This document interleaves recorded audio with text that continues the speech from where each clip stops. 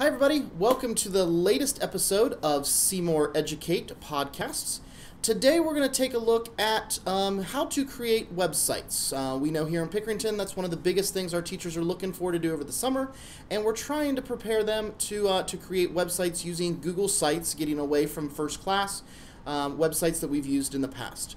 So, today, on this episode, we're going to take a look at how to create Google Sites um, for your classroom, how to add multiple pages, what some websites should look like, and so on and so forth. So today, before we get started, we are doing this podcast a little bit different today. Um, I've got behind me, I've got a fancy little green screen, so now I'm not down in the little box anymore, uh, and I can move myself around and change some things around. So it looks a little bit different today. We're trying some new technology, so we'll see how things go. All right, so let's get to today's episode of Google Sites. So the first thing that you're going to want to do is you're going to want to load or launch um, uh, Google Chrome. Uh, it does work a little bit better in Google, Google Chrome. And you're going to go to sites.google.com. Now with this, you want to make sure that you're logged in. Um, log in through your school account, so your picture, your image should be showing up up here in the corner. That way everything's just stored and everything's saved and so on. This page here will bring you to any of the Google um, sites that you have already created. If you've never created a Google site before, that's going to be completely blank. All right. So you're going to start over here with Create. And you're going to click on that button. And with this here now, you have a couple different options. You can start from a completely blank template, or you can browse a gallery. And inside of this gallery, it is going to give you different templates of different things that have already been created um, or things that uh, Google has already provided for you. So if you want something that's a little bit fancier than maybe you could design real quick, um, you could use any of these. Um, some of the uh, templates do require you to fit your information into their template. So it's kind of one of those things. What do you want? Do you want something that's gener that's generic and something that anybody could create, or something that maybe is your own? So I'm actually going to start with a brand new um, page, and I'm just going to click on blank template, and we're going to name your site. Name your site something that is familiar with you.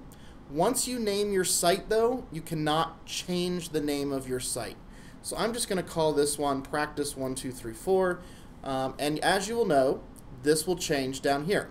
So this is going to be your URL. So whatever you call your site, that's going to show up in your URL. This is what you'll you'll link to the school's website. This is what we'll add on to give it to the kids, uh, so on and so forth. You can go down here. You can pick a very generic theme if you want. So different colors and stuff are already set for you. I'm not going to select a theme. And then under more options, you have a few other things if you want to do site categories and site description. So this would be like tag words or something like that. So if you want to be able to find it easier um, on uh, on Google or, or on any search engine, you'd add search category or site categories there. And site description, you could just go Mr. Seymour's webpage for PLSD if you wanted to.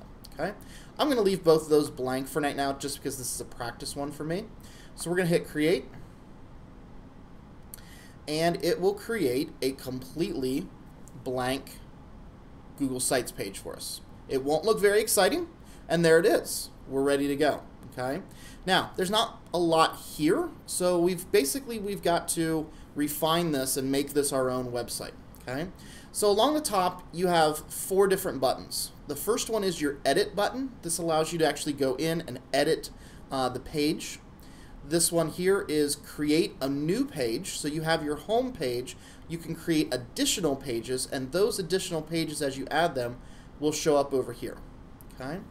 You've also got your settings uh, or more actions, and then you've also got your share. So if you'd like to use this, let's say you're doing some co-teaching and you want one of your other teachers, your co-teacher, to be able to utilize this, then you could share this back and forth and they could both utilize it, just like anything else with Google has the share abilities.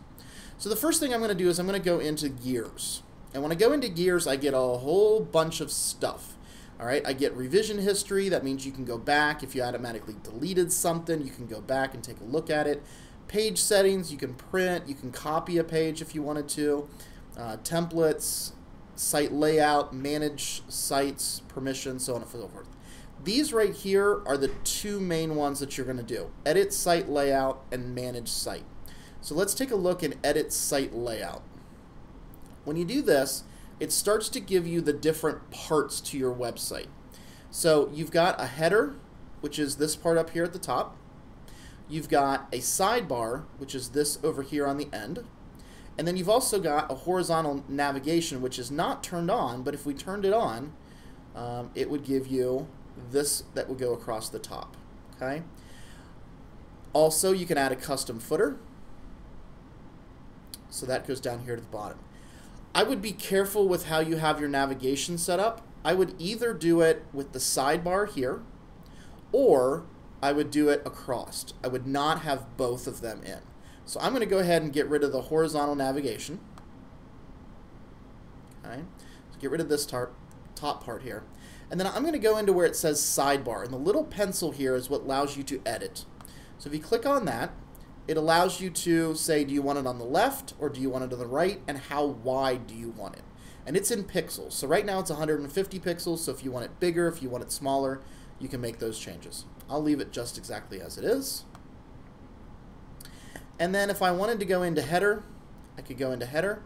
Um, I could use a different logo. Um, I could set this is the dominant logo or here for the domain. We would like for you in Pickerington to keep the Pickerington logo on there somewhere uh, so that it's on your main page. So that way people know that you're going to a, uh, a Pickerington uh, website. So we're going to leave everything alone as it is there. And then down in the custom footer, if I want to add something to that, so let's say I wanted to say, you know, Brian Seymour, and then I wanted to add in my email address and then I wanted to add in the phone number of the district office okay? And then I can change those around a little bit. If I wanted to center them on every page if I wanted to bold it if I wanted to you know make it Pickerington purple uh, I can do that. Oh, we don't want that.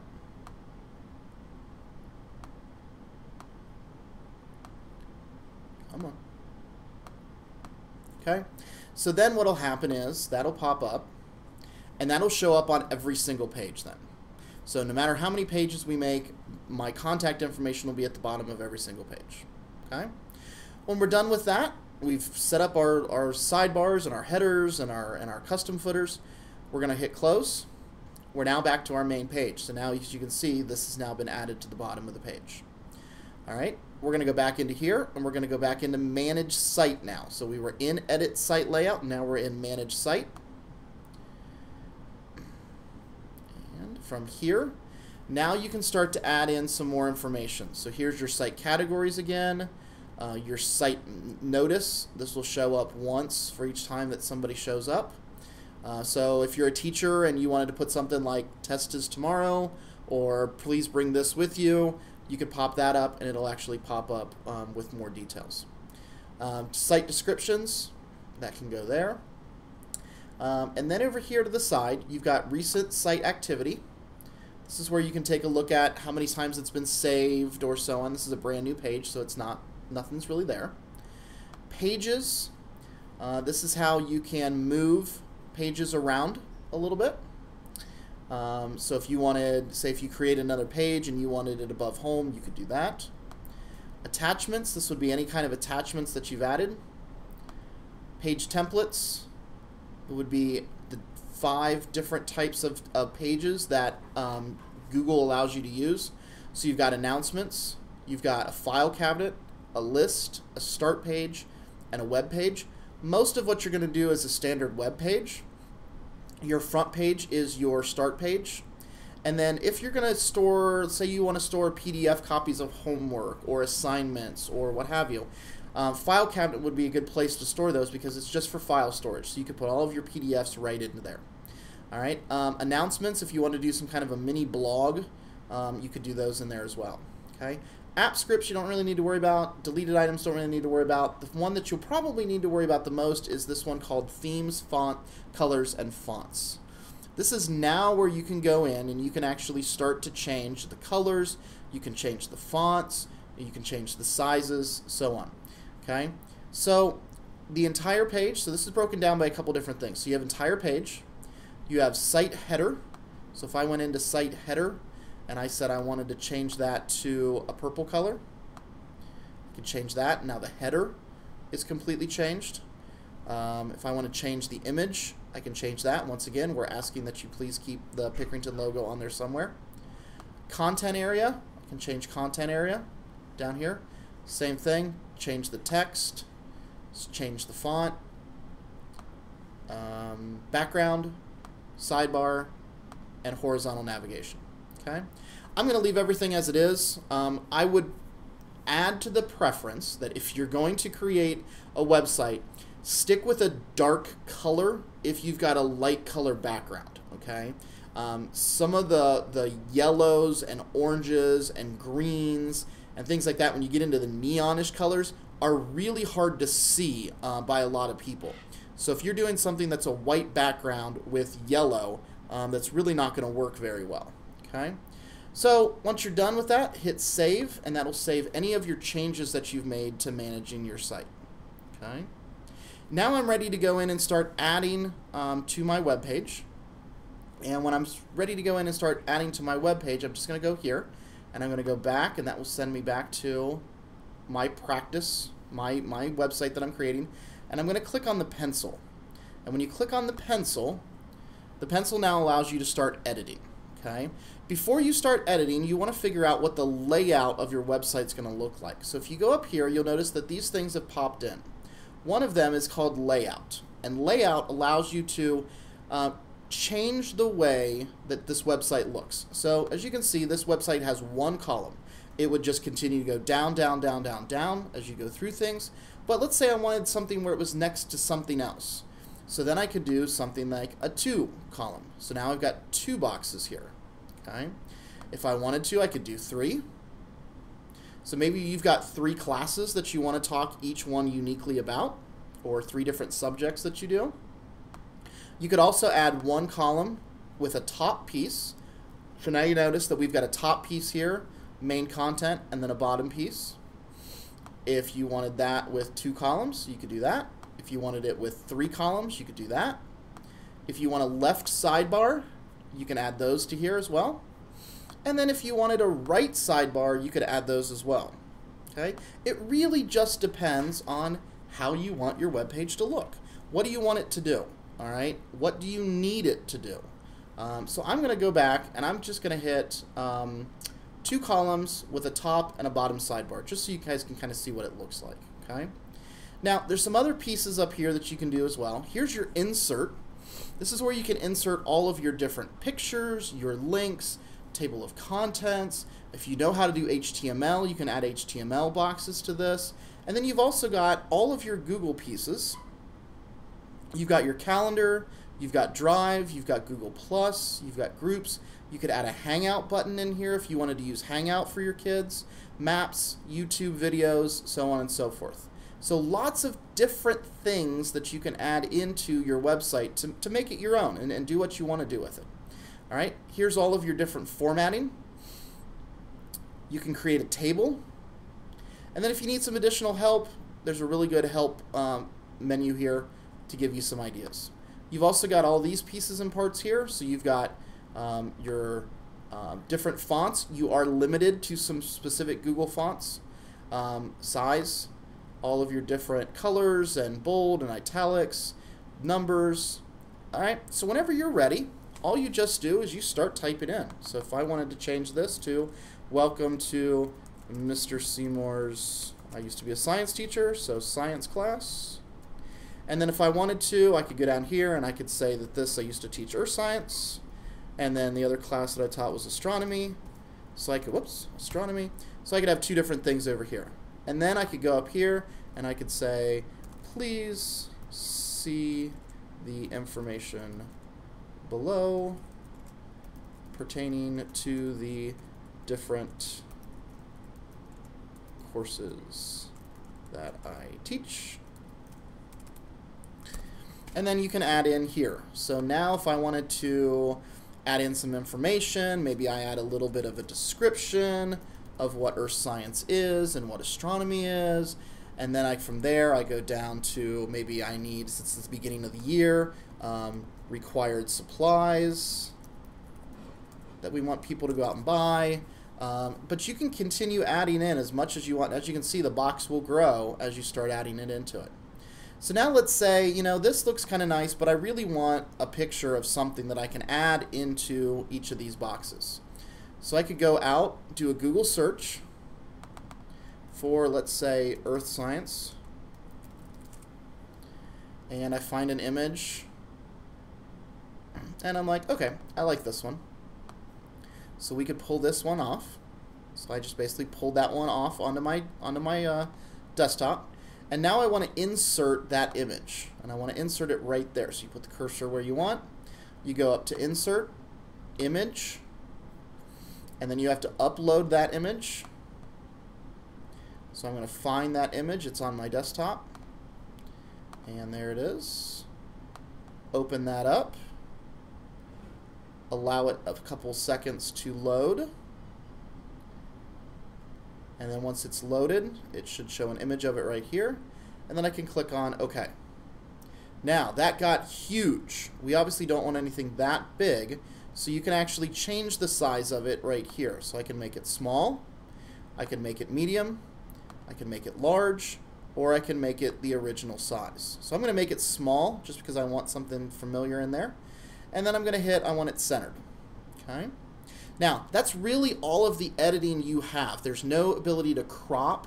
There's no ability to get rid of some background. So if you want to do anything with the picture, you have to do that before you put it into um, Google Sites. So you could do that in um, Apple Photos. You could do it in Photoshop. Depends on what uh, you're familiar with. So if I hit X, whoops, kind of have to hit save. So we'll say OK load, and I'm here. Okay. So now when you get when you're there, you just click out, and now I've got a picture in my website. Okay. So let's say I wanted to add a link, and let's say we're going to talk about earthquakes right off the bat. So I'm going to put in earthquake information, just something as a placeholder. Go back up here, and I want to say current earthquakes. Okay. So here's a USGS website that has all the different earthquakes that have happened recently. I could go up here. I'm going to copy the URL, go back to my website. I'm going to click here and highlight, and I'm going to go up to this little thing. It looks like chains, and this is add the link. If I want to go to add a link, I'm going to hit web address. I'm going to paste that in there. I'm going to say I want this opened in a new link or a new window so that way my page still stays open but it's a new page now and click on OK. Okay, and now that's been linked. Okay, so as we do this, uh, drafts are saved, but they're only saved as drafts. So we do have to hit save. It's kind of a counterintuitive to the rest of Google. So I'm going to hit save just to save this and see what it looks like. And now there's my website. So a little bit more getting there to where I want it to be at. Let's now say I want to add a new page. So now let's say I want to add a page for earth science and I want to add a page for astronomy. That way I can put assignments on there. I can put uh, a URL to my calendar, so on. Uh, so I'm going to go up here to create page. And when you do that, it says, what's your page? So I'm going to say earth science. Okay and it's going to ask what do I want as a web page? Do I want a web page? Do I want an announcement? Do I want a file cabinet? Do I want a list or do I want a start page? Majority of what you're going to do is you're going to do a web page. Now, something else I want to point out to you is this automatically creates the URL for you. If you put a space, so there's a space here in between Earth and Science, it automatically puts a, a dash uh, in between there. So if that's okay with you, if you don't want that dash, get rid of the space um, it will look a little bit funky, I guess, when you pull up your actual web page. Now, here's the next thing you need to figure out is, do I want to put it at the top level? That means when you look on the side, everything will be lined up nice and neat. If you put it underneath this, it will be tabbed over. Okay, I kind of like the tab over because then that way it designates what's the home page because it's the one that's always farthest to the left. So I'm going to hit create page and it's going to create a brand new page for me. Okay, and now you can see here, here's my home page. Here's my earth science page that I'm adding right now. Okay, and once again, you've got the same, same exact type of functions. You've got all of these different layouts you've got all the different types of inserts. Okay, so this is where I could go in and say I want to put in my calendar. I want to go in and put a video in. All those different parts. All you do is hit the cursor wherever you want, go up to insert, click on whatever it is that you want, follow the directions or the steps through, and it'll add in your different um, pieces and parts to that. Okay. So if I go back here now, if I hit save, I want another page. Now this time I want a page for astronomy. So I'm just going to call this one astronomy. I want a web page and I want to put it under, but I want to choose a different location. I want to put it under here so it's even with earth science. So if I do that and hit create, you will now notice that I've got welcome to, I've got an astronomy page, and I've got an earth science page. You can have as many pages as you want, I believe. Um, I've never seen anybody's website go that they have so many pages that Google says, nope, no more pages. Okay, so add to it, create it, make it your own. Um, it's one of those things where I really can't tell you this is the way it should look because you want it to be what's best for you and what's best for your kids. All right. I will recommend watch the colors. That's usually the biggest point that gets people confused. Is just I can't read whatever the font color is. Or I can't read the font because it's too small. Or it's too big and it gets pixelated. Okay? Think about the grand majority of our kids are going to be looking at this on an iPhone or a mobile device. Okay, they're not going to be looking at it on the computer. So I would recommend every so often you take a look at your own website through um, uh, through a mobile device. That way you have some ideas of what it is. Okay.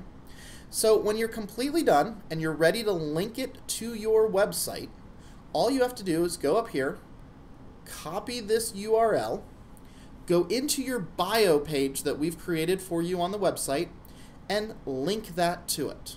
Okay.